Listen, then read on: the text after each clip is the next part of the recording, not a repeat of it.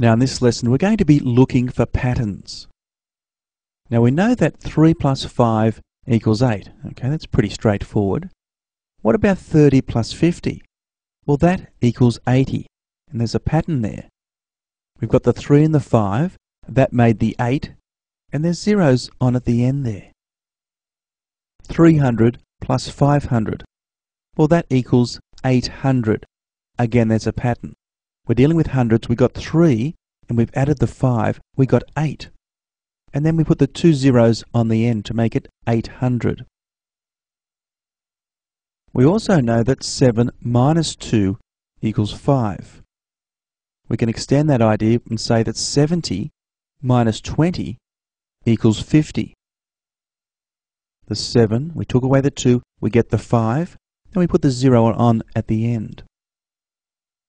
700 minus 200 equals 500. Again, we're dealing with hundreds this time. 7 minus 2 gives us 5, and then we put the two zeros on to make it 500. Let's look at some examples now. The first one, 200 plus 400. We're dealing with hundreds, so simply 2 plus 4 is 6.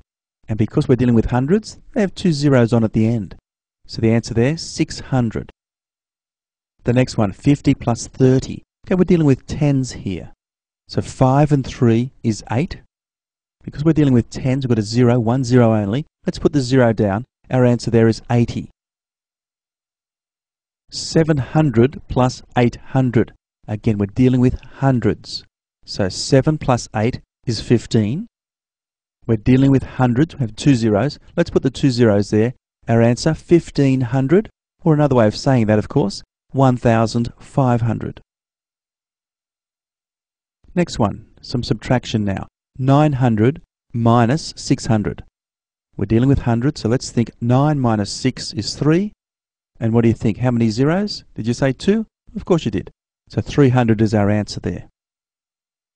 70 minus 30. Well, 7 minus the 3 is 4, and one zero only there. And next one, 800 plus 300 minus 900. Right, we're dealing with hundreds, aren't we? So let's think 8 plus 3, that's 11 so far, minus 9 is 2.